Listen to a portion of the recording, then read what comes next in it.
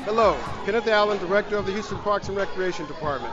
Today, we're celebrating at Catherine Delce Park, the Mayor's Love Our Parks Complete Community Initiative. We've completed improvements and renovations to this small neighborhood park.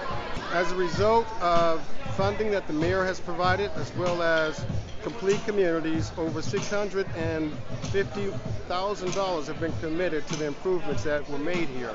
We have a new pavilion roof, as well as a new surface with artwork that was painted here. We've replaced the goals, we've upgraded the uh, picnic tables and the, and the barbecue grills. We have a playground that's coming in in May next month.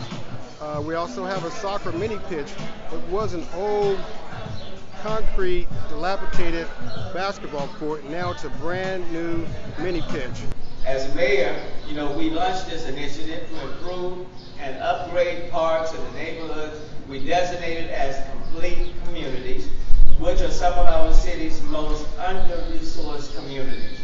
With this initiative, we aim to inspire more citizen engagement and forge a real connection to our neighborhood parks. You know, love me from the Lord, take a mess. The time is up, so let me tell you who you want to be.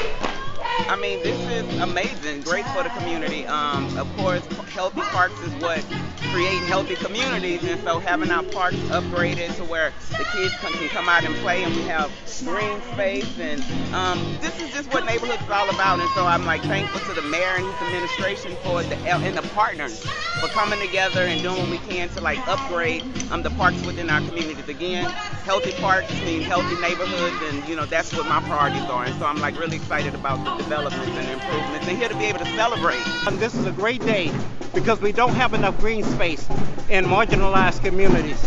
Now that we have more green space, it's open for families, our children, and we must take advantage of the resources that we do have in our community.